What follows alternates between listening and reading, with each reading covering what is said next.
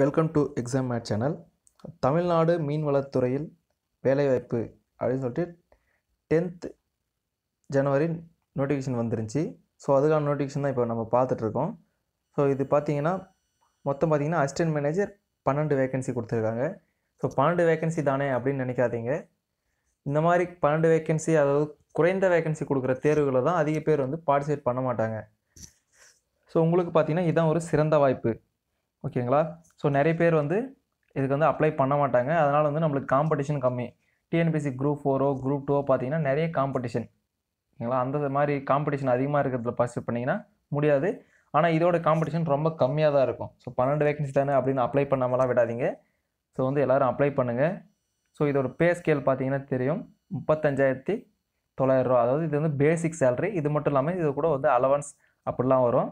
So இதை எப்படி select பண்ணுவாங்க அப்படின்னு பார்த்தீங்கன்னா இன்டர்வியூ அப்புறம் வந்து அப்படி இல்லைன்னா வந்து ஆன்லைன் டெஸ்ட் இருக்கும் அப்படின்னு சொல்லியிருக்காங்க. இல்லைனா ரெண்டுமே கூட இருக்கலாம் அப்படின்னு சொல்லியிருக்காங்க. ஓகேங்களா? ஸோ மீன்வளத்துறையில் இந்த மாதிரி ஒரு ஆப்பர்ச்சுனிட்டி கிடைக்காது. ஸோ அசிஸ்டன்ட் மேனேஜர் போஸ்ட்ன்றது பெரிய லெவல் போஸ்ட் ஸோ முடிஞ்ச அளவுக்கு பார்த்தீங்கன்னா அப்ளை பண்ண பாருங்கள் ஓகேங்களா?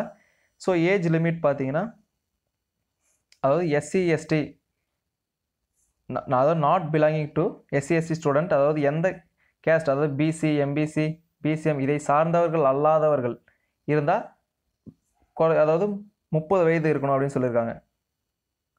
அதாவது முப்பது வயதுக்குள்ளே இருக்கணும் அப்படின்னு சொல்லியிருக்காங்க. அதே மாதிரி பார்த்தீங்கன்னா எம்பிசி பிசி பிசிஎம் இதை சார்ந்தவர்கள் வந்து முப்பத்தி ரெண்டு வயது இருக்கணும் அப்படின்னு சொல்லியிருக்காங்க.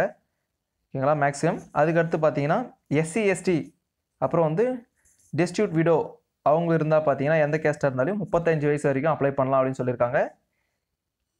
அதுக்கடுத்து SC ST ST MBC BC distribute of uh, எல்லா கேஸ்ட்டாக இருந்தாலும் எந்த ஏஜ் லிமிட்டு கிடையாது. ஸோ யாருக்கு பார்த்தீங்கன்னா ஹெச்எஸ்சி டிப்ளமோ டிகிரி இவங்க முடித்தவங்களாக இருந்தால் அதாவது சென்ட்ரல் கவர்மெண்ட் ஸ்டேட் கவர்மெண்ட்டில் ஒரு சில ஸ்கீம் இருக்கும். அதில் முடிக்காமல் இந்த மாதிரி டிகிரி முடிச்சிருந்தா அவங்களுக்கு வந்து எந்த ஏஜ் லிமிட்டும் கிடையாது அப்படின்னு சொல்லியிருக்காங்க. ஓகேங்களா? ஸோ அடுத்து எஜுகேஷன் குவாலிஃபிகேஷன் பார்த்தீங்கன்னா degree in bachelor of fisheries science அதாவது மீன்வள சா மீன்வள அறிவியல். ஃபிஷரிஸ் சயின்ஸ் அதில் பார்த்தீங்கன்னா பேச்சுலர் டிகிரி பிஎஸ்சி முடிச்சிருக்கணும். அப்படி இல்லைனா science degree with zoology BSc zoology முடிச்சிருக்கணும். ஓகேங்களா அவங்க வந்து அப்ளை பண்ணலாம். இது மட்டும் இல்லாமல் பார்த்தீங்கன்னா associate diploma in fisheries science அதாவது central institute of fisheries education அப்படின்னு சொல்லிட்டு மும்பையில் இருக்குது ஸோ அவங்க நடத்துகிற இதில் பார்த்தீங்கன்னா நீங்கள் வந்து அசோசியேட் டிப்ளமோ பண்ணியிருக்கணும் ஓகேங்களா அப்படி இல்லைனா full course of inland or marine fisheries ஓகேங்களா கவர்மெண்ட் ஆஃப் இந்தியா நடத்துகிற இதில் பார்த்தீங்கன்னா மெரைன் ஃபிஷரிஸில் நீங்கள் வந்து இது பண்ணியிருக்கணும் ஓகேங்களா? ஸோ அதுக்கு அடுத்து பார்த்தீங்கன்னா must possess diploma in fisheries technology and navigation awarded by state board so state board நடத்துகிற டெக்னிக்கல் எஜுகேஷன் அண்ட் ட்ரைனிங்கில் வந்து பார்த்தீங்கன்னா நீங்கள் முடிச்சிருக்கணும். ஓகேங்களா? அடுத்து பார்த்தீங்கன்னா குவாலிஃபிகேஷன் ப்ரெஸ்கிரைப் பண்ணுறது அதாவது இது வந்து பேசிக் குவாலிஃபிகேஷன் ஸோ இன்கேஸ் நீங்கள் இதை தவிர்த்து வேறு எதனா பண்ணிங்கன்னா உங்களுக்கு வந்து ப்ரிஃபரன்சஸ் கொடுப்பாங்க. எப்படி பாருங்கள் எஸ்எஸ் எஸ்எஸ்எல்சி ஹெச்எஸ்சி அப்புறம் யூஜி டிகிரி ஓகேங்களா டென்த்து டுவெல்த்து அப்புறம் வந்து பிஎஸ்சி பண்ணியிருந்தீங்கன்னா அது வந்து ப்ரிஃபர் பண்ணுவாங்க. ஸோ ஆனால் அதிகப்படியான ப்ரிஃபரன்ஸ் யாருக்குன்னு பார்த்தீங்கன்னா ஒன் இயர் அப்ரண்டிஷிப் பண்ணவங்களுக்கு. அதாவது அண்டர் கவர்மெண்ட் ஆஃப் இந்தியா ஸ்கீமில் ஒன் இயர் ட்ரைனிங் ஸ்டேட் கவர்மெண்ட்டோ சென்ட்ரல் கவர்மெண்ட்லேயோ பார்த்தீங்கன்னா ஒன் இயர் அப்ரண்டிஸ் பண்ணவங்களுக்கு பார்த்தீங்கன்னா ப்ரிஃபரன்ஸ் கொடுப்பேன் அப்படின்னு சொல்லியிருக்காங்க. ஓகேங்களா ஸோ ஃபீஸ் பார்த்தீங்கன்னு வச்சுக்கோங்க. OBC BC BCM MBC so இந்த கேண்டிடேட்லாம் ஐநூறுரூவா எஸ்சி எஸ்டி ஸ்டூடெண்ட்டாக இருந்தால் இரநூத்தி ஐம்பது ரூபா பே பண்ணால் போதும். ஸோ டிஃப்ரெண்ட்லி ஏபிள்டு பர்சன் அது எந்த கம்யூனிட்டி இருந்தாலும் சரி அவங்களுக்கும் இரநூத்தம்பது ரூபா சொல்லியிருக்காங்க. ஓகேங்களா ஸோ அடுத்து பார்த்தீங்கன்னா லாஸ்ட் டேட் அப்ளை பார்த்தீங்கன்னா ஃபெப்ரவரி டென்த்து தாங்க. ஸோ அஞ்சு மணிக்குள்ளே வந்து அப்ளை பண்ணிடணும். ஸோ எல்லாமே பார்த்தீங்கன்னா ஆன்லைன் பேமெண்ட் தான் ஆன்லைன் எக்ஸாம் தான் நடக்கும். ஸோ எல்லாம் ஆன்லைன்லேயே பே பண்ணிவிடுங்க ஓகேங்களா அடுத்து சம் இதெல்லாம் கொடுத்துருக்காங்க. ஸோ அடுத்து பார்த்தீங்கன்னா அப்ளை பண்ணுறதுக்கான லிங்க் வந்து டிஸ்கிரிப்ஷனில் நான் கொடுக்குறேன். ஓகேங்களா ஸோ அப்ளை பண்ணுறதுக்கு என்னென்னலாம் தேவை அப்படின்னு பார்த்துக்கோங்க. ஃபோட்டோ ஸோ உங்களோட ஃபோட்டோ பாஸ்போர்ட் சைஸ் ஃபோட்டோ பார்த்தீங்கன்னா ஜேபிஜி ஃபார்மெட்டில் எடுத்துக்கணும். ஸோ இது வந்து கம்பல்சரியானது ஸோ ஃபைல் சைஸ் பார்த்தீங்கன்னா இருபதுலேருந்து அறுபது கேபி இருக்கணும். ஓகேங்களா அடுத்து சிக்னேச்சர் ஸோ இங்கே சிக்னேச்சர் பார்த்தீங்கன்னா அதுவும் ஜேபிஜி ஃபார்மெட்டில் பத்துலேருந்து முப்பது கேபிக்குள்ளே இருக்கிற மாதிரி எடுத்துக்கோங்க. அடுத்து உங்களோட டென்த் சர்டிஃபிகேட் ஓகேங்களா ஸோ இது பார்த்தீங்கன்னா பிடிஎஃபில் இருக்கணும். அதே மாதிரி பார்த்தீங்கன்னா இரநூறு கேபிக்கு உள்ளே இருக்கிற மாதிரி பார்த்துக்கோங்க. அடுத்து டுவெல்த் சர்டிஃபிகேட் ஓகேங்களா? மார்க் ஷீட் பார்த்தீங்கன்னா இரநூறு கிபி கேபிக்கு உள்ளே இருக்கிற மாதிரி பிடிஎஃப் ஃபார்மெட்டில் எடுத்துக்கோங்க. ஓகேங்களா?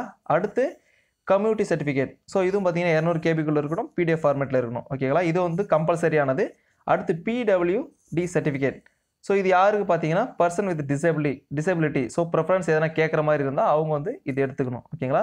அடுத்து வந்து ஒர்க் எக்ஸ்பீரியன்ஸ் ஸோ இது பார்த்தீங்களா? முன்னவே பார்த்தோம்.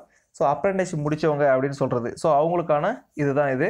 ஓகேங்களா? அடுத்து என்ஓசி சர்டிஃபிகேட் கவர்மெண்ட் எம்ப்ளாயி இருந்தால் நான் அப்ஜெக்ஷன் சர்டிஃபிகேட் கொடுக்கணும். ஓகேங்களா?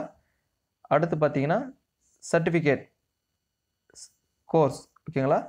ஸோ வந்து நீங்கள் எதனா சர்டிஃபிகேட் கோர்ஸ் எதனா இதை தவிர்த்து கோர்ஸ் எதனா பண்ணியிருந்தீங்கன்னா அதுக்கான சர்டிஃபிகேட் சப்மிட் பண்ணணும். அடுத்து யூஜி சர்டிஃபிகேட் ஸோ அது வந்து நீங்கள் கம்ப்ளீட் பண்ணியிருந்தா யூஜி சம்மந்தமாக அதாவது டிப்ளமோ அசோசியேட் பண்ணாமல் யூஜி பண்ணியிருந்தால் அதை கொடுக்கணும்.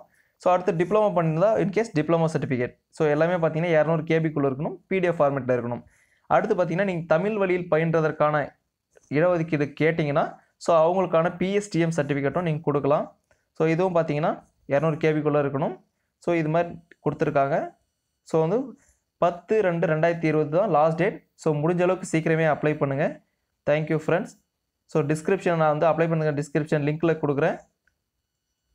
லிங்க் வந்து டிஸ்கிரிப்ஷனில் பார்த்துக்கோங்க. ஸோ வந்து சப்ஸ்கிரைப் பண்ணால் சப்ஸ்கிரைப் பண்ணிவிடுங்க பிடிச்சிருந்தால் லைக் பண்ணுங்கள் கமெண்ட் பண்ணுங்கள் தேங்க்யூ ஃப்ரெண்ட்ஸ்